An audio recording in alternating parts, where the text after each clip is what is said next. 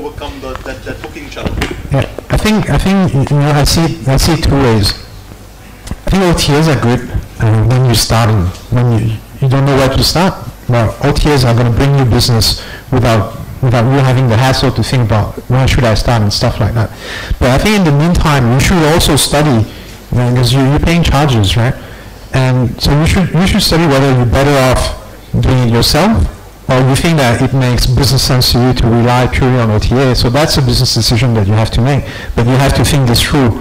It's not just by, by accident uh, that this should happen. Any question, ladies and gentlemen? Uh, one at the back.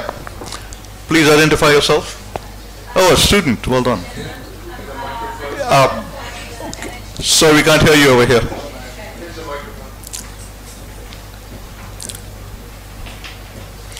We need more students asking questions, specifically the Thais. Uh, my name is Jenny. I'm from the NHTV in Breda, in Holland. And um, I have a question for James. It's about uh, the social media manager. Uh, can you maybe tell a little bit more of uh, what he does, if you can? And uh, I'm thinking about like what, how do you come up with a strategy? Does he work from nine to six, or how, how does it work? Actually, she's a she. Our most successful social media managers have been all females. But this one particularly we hired and brought in was originally Filipino, but has spent the last 15 years in Texas. So we actually brought her from Texas to stay with us um, only for about, uh, it was about 10 months. So no, she worked around the clock. She would. The idea was to you know generate awareness of the brand, also to promote special events, and so she was with the normal platforms of uh, Facebook and Twitter and uh, you know Twitter and all of those type of a thing. And uh, even the, the, rugby sevens actually was a big one that we did. Uh, almost half of the rugby seven teams stay at our at our hotel, so that was one of the big social media type of pushes. Does that answer your question a little bit? Well, I'm, I'm interested in, in how she did it, but I don't know if you if you can if you, if you know that like kind the of thing. Like the strategy that she used. Yeah, I I mean, if you think about awareness, it's not just Sure, like okay. publishing whatever, but you, how how does she connect? Her, her, her point was tie specific events to the hotel company, also with specific people. So all of the executives, she created accounts for all of the executives and actually helped populate those accounts. Of course, the CEO doesn't write, his, you know, doesn't do his own tweets. She would do those for him. Uh, Facebook, LinkedIn, she would actually go through, look at my LinkedIn page and say, you have to take that off, you have to add this. And she, you know, she actually went through and said, this, this is much too professional. You need to put some more joking, humorous type of things in here. So those were the strategies. Tie the events to the hotel, to the individuals, and you know, try to obviously build some momentum through that, if that makes sense. Thanks a lot. Can, can I just add one thing, um, just to, to address your question? There's, there's one mistake that I, I very often see on, you know, on social networks. For, for brands who go online, it's, you talk to, you talk to consumers the same way you do your, your advertising, which is completely wrong, right? So don't use your beautiful key message, advertising message to talk to consumers. You know, that's exactly why they go on social networks, because they want to talk to, you know, a friend, you know, so your brand has to be their friend. And you have to talk to them the same way you would talk as a friend. So it might not be like grammatically beautiful or correct, but it's, it's part of, you know, what a social network is. It has to be more intimate. Okay, I think we have time for maybe one last question. Go right ahead. Uh, my name is Jonathan. I'm Stanford student. Uh, I have a question uh, regarding the OTAs, and uh, you can see a lot of uh, independent operators. they're trying to break the dependency of the OTAs, and apparently Four Seasons they understand the importance of a good website. Can you tell me about this question for James? Uh, can you tell me about the the future and the relationship between OTAs and hotels? Of course. Um, in the hotel business, we like to say we love OTAs. They're our friends. Anytime you have a distribution channel that's charging you 15, 20, 30%, you look for other ways of, of getting your message out there. So the future of OTAs, from the perspective of the hotel industry, of course, it will be a lot different than the perspective of the OTAs as far as what they're looking for. But everything is changing very fast, and that's the key. The future is unpredictable. That's the that's the key thing going forward. Is what tipping point will occur? What will happen that will drastically change the current balance?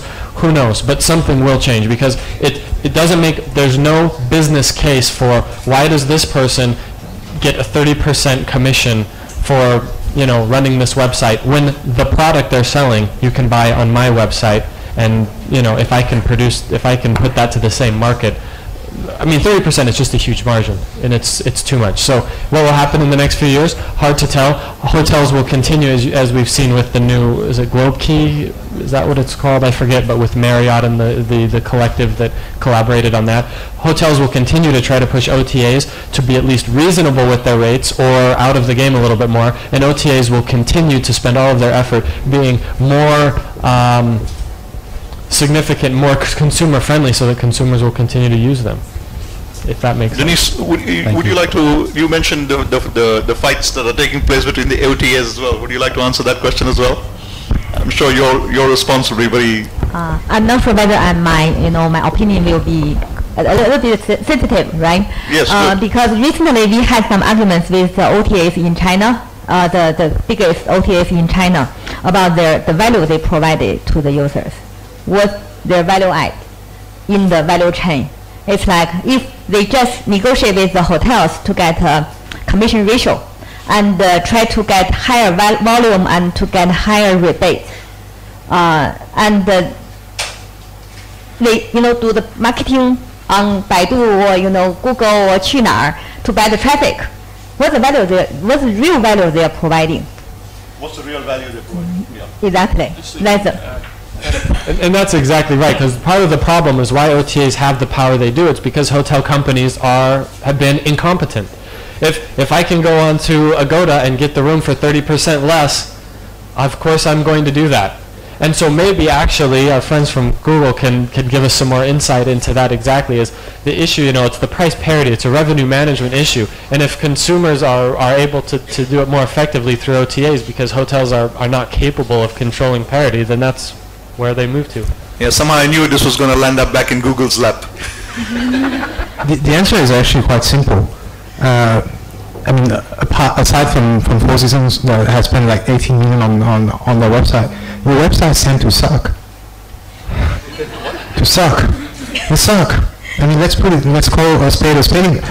But- And that's why I, I would go to Agoda or, you know, or to the other guys, because when I go, it's like, in five steps, I'm done.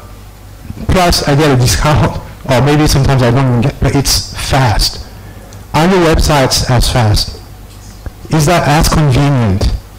Is that is that well structured? Is that you know, a couple of clicks can I make a booking? You know, you, we, you're assuming that you know all the websites are like the Four Seasons and, and it's great and it's fast and it's simple and you know the, the page doesn't go blank when you you hit payment. right? But not all the websites are like that, and that's the truth. And that's that's one reason I I would go. My there's a there's a very high chances that Agoda is not going to do that on me. Uh, I'm not taking sides, but I'm, ta- I'm telling you the truth.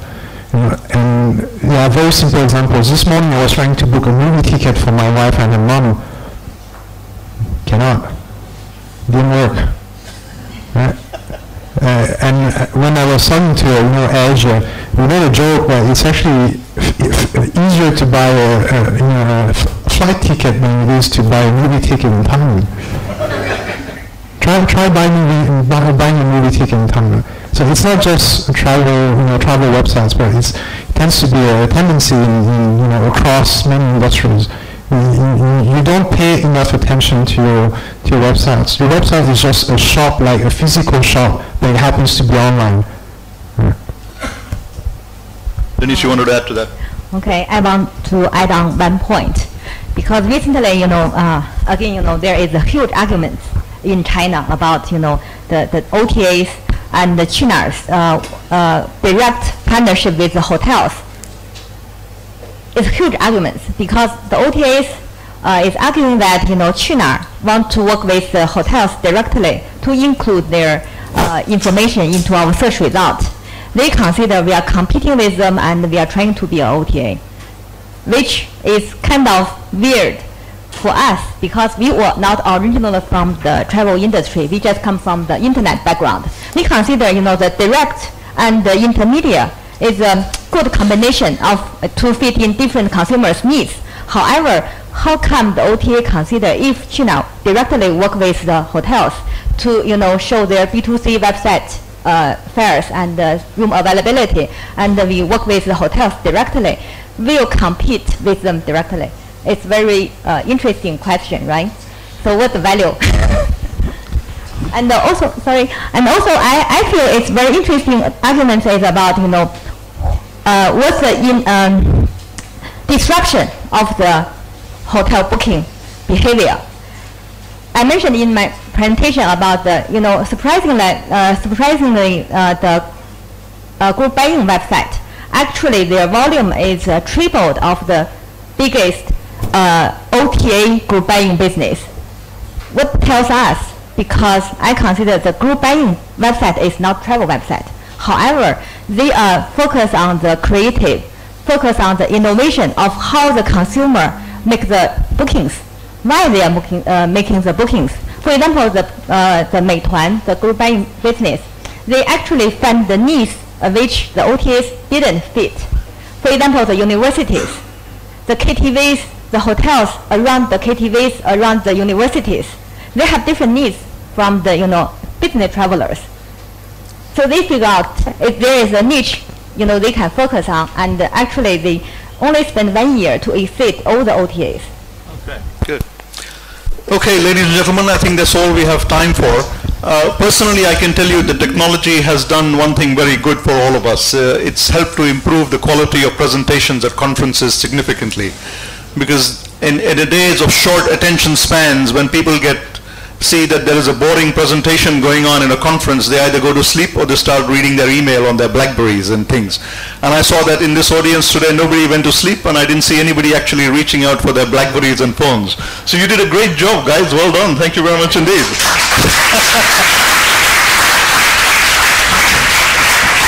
Thank you very much to panelists and please stay on stage. And uh, may I invite Professor Perry Hobson as the representative to present the appreciation of token to our panelists and moderator.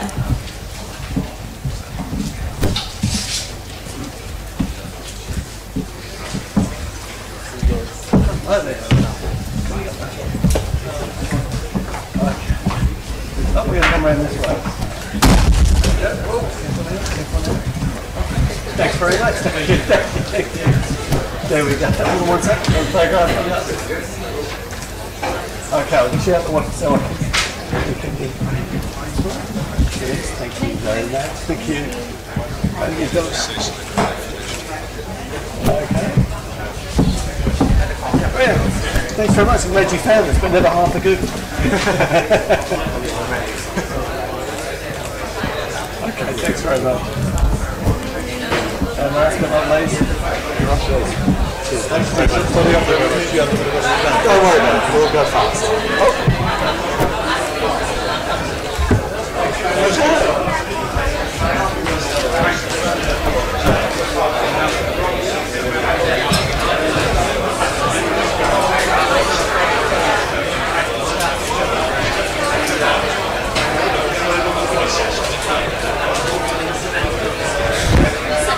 Uh, ladies and gentlemen, can I just briefly intervene to explain that our chairman, myself and some of our team uh, have a duty that we have to go and visit the Ministry of Tourism, the Thai Ministry of Tourism.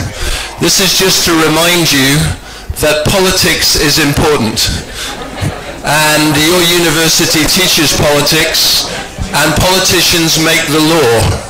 So if our industry is going to influence the law and the environment, we have to engage with politicians.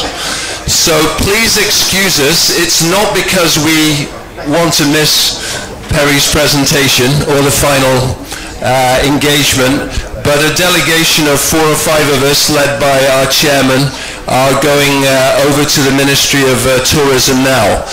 So I'm going to tell Kate and Echo and Chris to come and sit in the front row and you're to bring with you one Thai student each. And one of those Thai students is going to ask a question in the final session. Wouldn't that be a good idea, MTS? You'd agree with me? Right. Chris, come forward. Kate, Echo, come forward.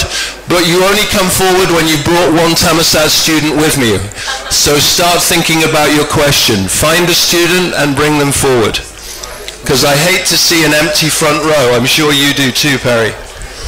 Good. Okay, move forward. I hope you notice Chris is dressed in Australian business wear, very casual. Right.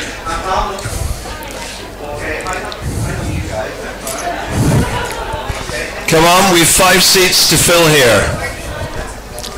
Be quick, don't be shy. Very good. Okay, you found a, a new friend, Kate. Well done. You see, this is international cooperation in action. Ivy, I want you to go and find one other person, maybe. Anyone else? Are there any more seats?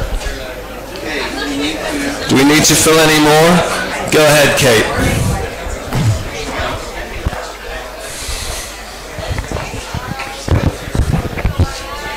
Okay, Perry, having caused that chaos and uh, hopefully enlivened the uh, audience, I'm going to hand over to you. And I look forward to seeing all of you are invited tonight, just to be completely clear, you are invited to come to our uh, open air reception uh, right outside our office uh, from 6 o'clock and I recommend you come. It'll be a lot of fun for about an hour and a half and please do uh, find your way there. Thank you very much. Thank you very much, Martin. Okay, uh, I know it's been a lot of time sitting, and what I'd like to first start with, before we just do the formal introduction, I'd like everyone just to stand up and introduce yourself to the person who's behind you, except if you're in the back row. And at least meet someone else before the networking lunch, but behind you. The person behind you or in front of you, please meet someone new. Stand up a bit. That's it. Someone new behind you. You probably know the person next to you. That's it. A Thai wife, everybody please.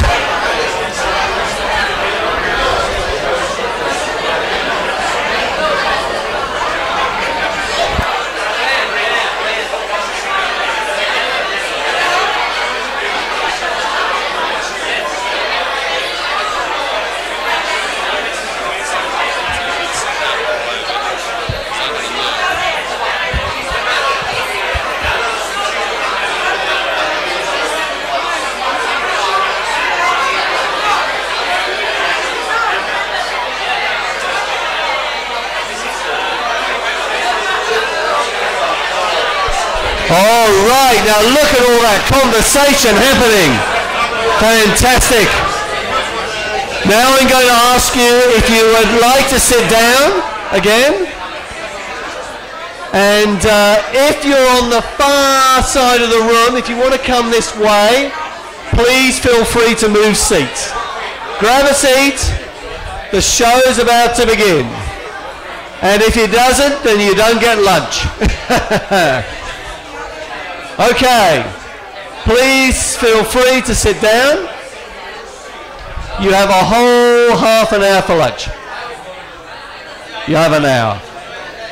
Okay, thank you very much. Please sit down. That's okay. Please have a seat. Please have a seat. Please have a seat. Okay. For those of you on the far side of the room, they say that Thais like to talk. No way. Okay. Has everyone got a seat? Thank you. Thank you. Have you got a seat? All right.